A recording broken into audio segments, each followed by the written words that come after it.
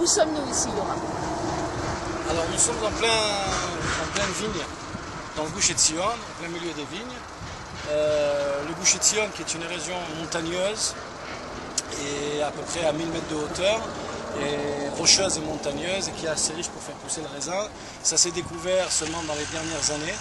Euh, Jusqu'à maintenant, les agriculteurs euh, travaillaient les terres dans la région. nous avons trois kibbutzim autour de nous. Ils travaillaient les terres dans la région des terres de verger, de pommes, de pêche, de prunes. Et dès qu'on a commencé à se lancer dans le domaine du raisin, nous avons vu qu'on pouvait en sortir un, vin euh, de très très haute qualité. Euh, donc pra- pra- pra- pratiquement tous les terrains ont été transformés et là euh, euh, nous avons tout développé, toute la région du Gaucher de Sion a été développée dans le domaine du raisin pour justement euh, sortir un vin de bonne qualité et qui, qui se promet. Alors, on se trouve un peu ici au centre du pays. Oui, exactement. Le Goucher de Sion, bien que ça soit à peu près, comme je vous l'ai dit, très haut et presque à la hauteur de- d'en bas du, du, du Hermon, à peu près à 1000 mètres de hauteur, euh, malgré ça, le pays, le pays est tellement petit, on est à un quart d'heure de Beth Shemesh où on descend à, à peu près à, de, de 400-500 mètres. On est à 10 minutes de Jérusalem qui est aussi haut, mais pas aussi haut que, la- que cette région-là, trois quarts d'heure de Tel Aviv. Et, et donc, euh, c'est vraiment, si on regarde sur la carte, entre euh, Bethléem et Hébron, c'est vraiment le centre, plus ou moins le centre du pays.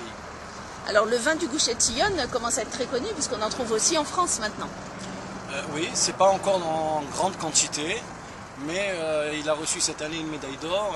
Un, un de- des vins du Goucher de Sion a reçu euh, une médaille d'or et il est de plus en plus demandé. Il y a aussi les vins de Tijbi, certains vins de Tijbi aussi qui sont euh, dans le raisin et aussi cueillis ici. Et on se développe. On est un pays tout jeune et ce domaine dans le Goucher de Sion est aussi tout jeune, donc on avance avec. Alors, parlez-nous un petit peu de ce qui va se passer pendant Sukkot où on pourra apprendre un petit peu tout sur le raisin.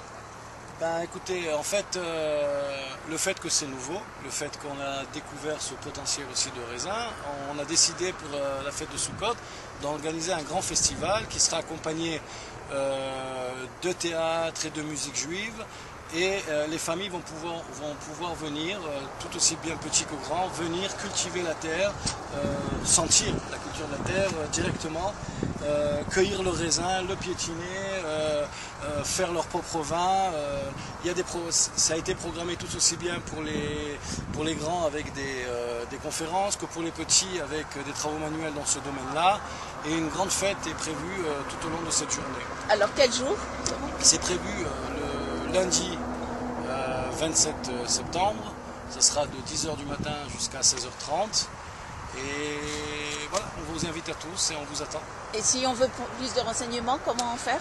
Bah, il faut juste téléphoner au 02 6, 7, 671 4, 6, 5.